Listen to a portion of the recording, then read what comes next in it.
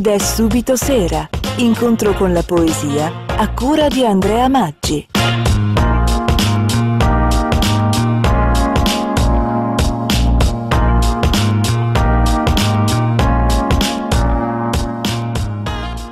Una buona serata da parte di Andrea Maggi qui su Radio Dolce Vita, la radio della città di Ferrara. Questa sera incontriamo un poeta che abbiamo già visto in alcune delle nostre precedenti puntate, il francese Paul Verlaine. Siamo in un clima di carnevale e vi propongo questo, questo testo che si chiama Pantomima.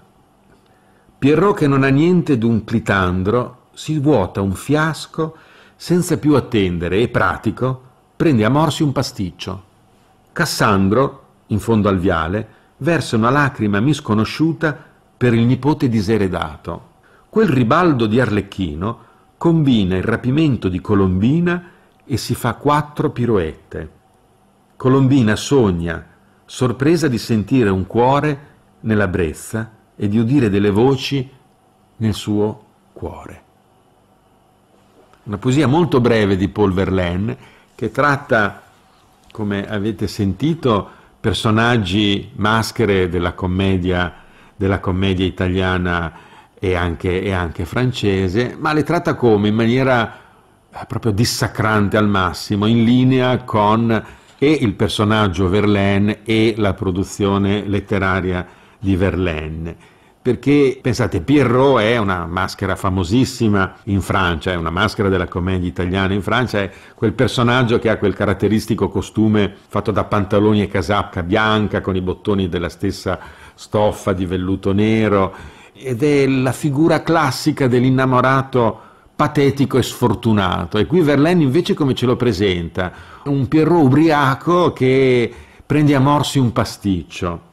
Poi Clitandro, che è un personaggio anche questo francese, creato da Cornell, che è stato uno dei maggiori drammaturghi e scrittori francesi, e poi Arlecchino, la famosa maschera bergamasca, anche qui è un dissacratore di questa, di questa maschera, questo ribaldo di Arlecchino che combina il rapimento di Colombina e si fa, e si fa quattro piroette. Arlecchino è una maschera che sì, è di origine bergamasca, ma è nostra, è italiana, poi è diventata una maschera veneziana, Carlo Goldoni l'ha fatta conoscere tutto il mondo, Colombina, la fidanzata di Arlecchino, di cui Arlecchino è sempre geloso perché Colombina è sempre presa dalle mille, dalle mille attenzioni del padrone Pantalone.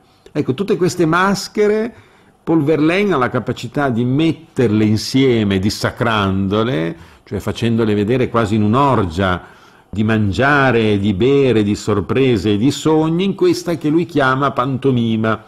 Ecco, la pantomima che cos'è? Poi è una scena nella, diciamo, nella letteratura teatrale caratterizzata da gesti, da atteggiamenti, no? o anche, o anche da, da, un ballo spesso, ma sempre con un carattere farsesco. E questa pantomima Paul Verlaine rispecchia molto di quella che è stata la sua, come dicevo, produzione eh, letteraria, ma anche la sua vita, una vita, una vita per quei tempi sicuramente diciamo, molto particolare, nato alla metà del, del 1800 nella, nella, Lorena francese, fin da piccolo insomma, ha mostrato segni di insofferenza per quelli che possono essere i canoni della borghesia dell'epoca, ha studiato lettere, ha studiato giurisprudenza, ma presto ha abbandonato l'ambiente, l'ambiente accademico per frequentare i caffè e i salotti letterari di Parigi alla pari di tanti altri scrittori e poeti come Baudelaire che abbiamo incontrato in molti in molte delle nostre, delle nostre, trasmissioni. Una vita, dicevo, quella di Verlaine contrassegnata dalla omosessualità, che pensate all'epoca era sicuramente al di fuori dei canoni del tempo. A un certo punto della sua vita compare un diciassettenne Rimbaud, che da lui chiamato dopo che il giovane ragazzo gli aveva inviato qualche lirica, iniziano insieme una relazione molto intima, insieme fanno un vagabondaggio. Pensate che era sposato Verlaine, quindi ha lasciato la moglie e anche un figlio per seguire questo diciassettenne poeta anch'egli, per seguirlo in Inghilterra e in Belgio. Una relazione tumultuosa che poi è finita dolorosamente, poi seguita anche da un periodo in cui è stato rinchiuso in prigione perché insomma ne ha combinate un po' di tutti i colori. Una sera ubriaco ha esploso due colpi di pistola contro Rimbaud stesso, insomma una vita assolutamente, assolutamente dissoluta. Divorzia poi dalla moglie, viene arrestato nuovamente, passa i suoi ultimi anni tra alcol e chissà quali altre sostanze, come dire, stravaganti, come, come si diceva una volta, tanto che mentre accresce, si accresce sempre di più la sua fama, lui cade sempre più in miseria e la produzione dei suoi ultimi anni è contrassegnata da una scarsa incisività, probabilmente scriveva solo con lo scopo di guadagnare qualche denaro per sopravvivere. Qui invece nella poesia di questa sera abbiamo una rappresentazione, se vogliamo, quasi tragica di questi personaggi che solitamente associamo ad atmosfere invece divertenti. Il carnevale è il periodo in cui si fanno gli scherzi, in cui si ride, in cui si fa festa, in cui si prendono le ferie e lui invece ci rappresenta queste, questi personaggi che prendono a morsi un pasticcio bevendo fiaschi di vino tra sogni voci che si sentono nel cuore e con una lacrima misconosciuta. Carnevale è anche il titolo di una bella canzone di Riccardo Cocciante che ascoltiamo insieme.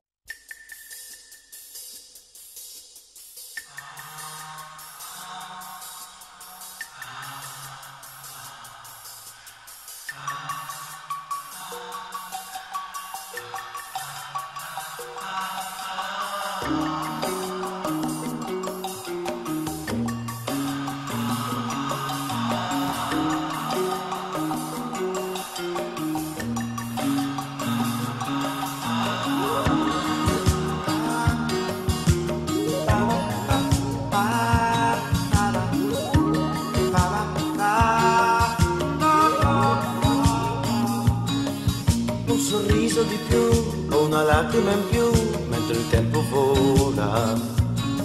Prima il bene, poi il male, per zucchero sale seccano la gola.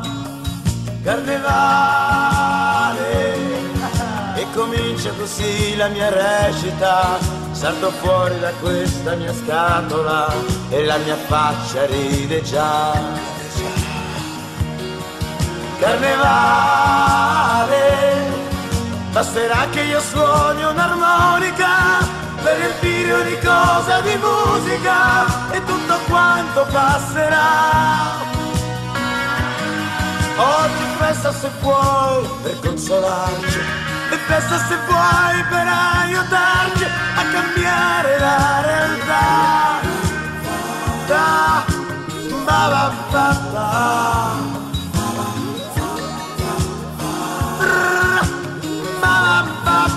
ba. un giorno di più e anche un giorno di meno perché il tempo vola. Il silenzio fa male, ma anche troppe parole seccano la gola. Carnevale, se la vita mi sembra un po' stupida, tolgo un asse da questa mia manica e tutto quanto cambierà, cambierà carnevale. Se ogni giorno mi sembra più inutile, ballo fino a stancarmi anche l'anima, che poi domani si vedrà. Oggi è festa se vuoi per consolarci, è festa se vuoi per aiutarci a cambiare la realtà. Ba, ba, ba,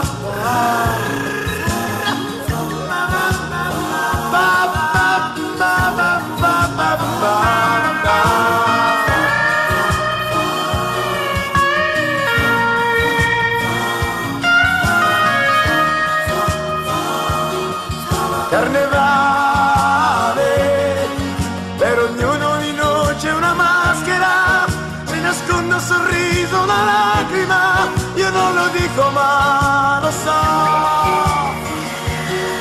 io lo so.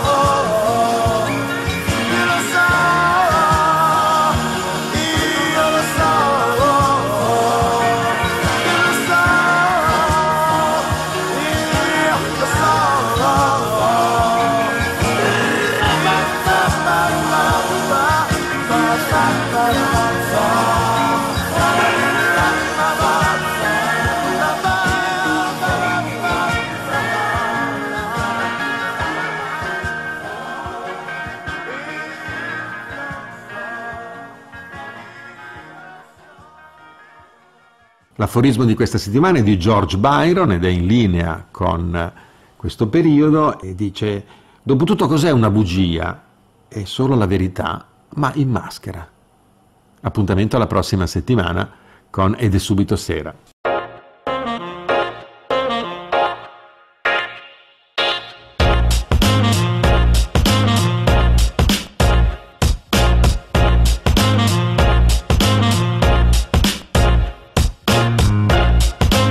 Avete ascoltato Ed è subito sera.